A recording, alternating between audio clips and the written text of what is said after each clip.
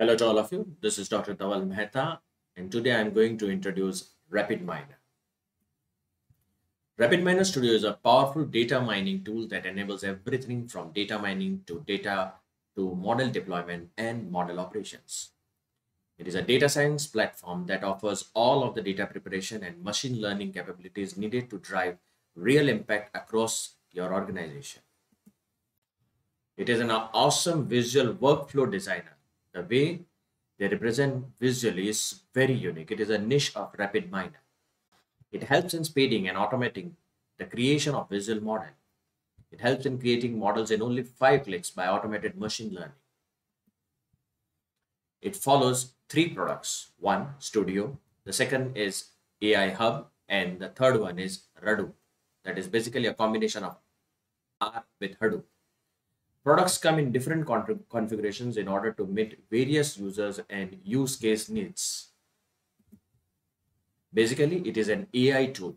It is a visual workflow designer that enables more complex data flows, including ETL operations, that is extraction, transformation, and loading, and model building.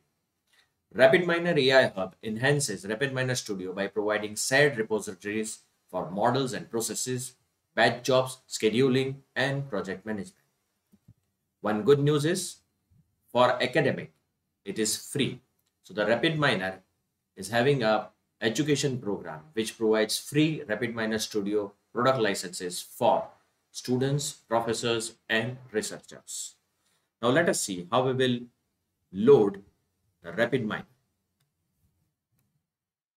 Once you have run the exe file, you can see here the RapidMiner Studio is appearing. You'll have to click on it.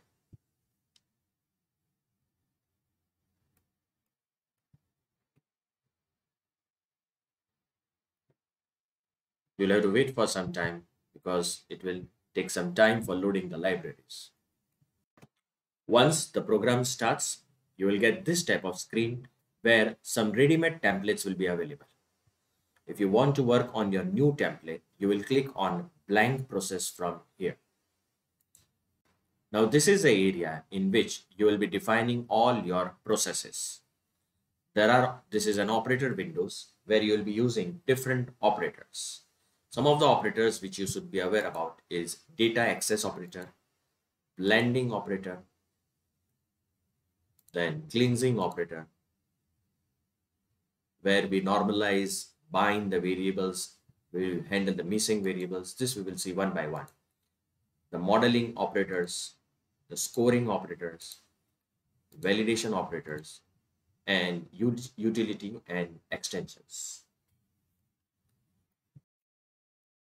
Now this is the area in which we will save our data file basically in local repository that is we will save or our own data file in this area and the processes will be saved in this area. I'll show you how to do that. Moreover, any parameter, any operator which I am using, say for example, I am using the operator as retry. Its information will be available on this side for each operator, the information related to the parameter will be available on this side. It will. It is also having the help menu where it will describe what operator is and it is used for what purpose and what are the connections which you will have to use. So this is all about RapidMiner. Now we will see how to import the data in the next video. Kindly subscribe to my channel you can follow me on LinkedIn and Twitter. For more videos on RapidMiner, please follow and subscribe my channel.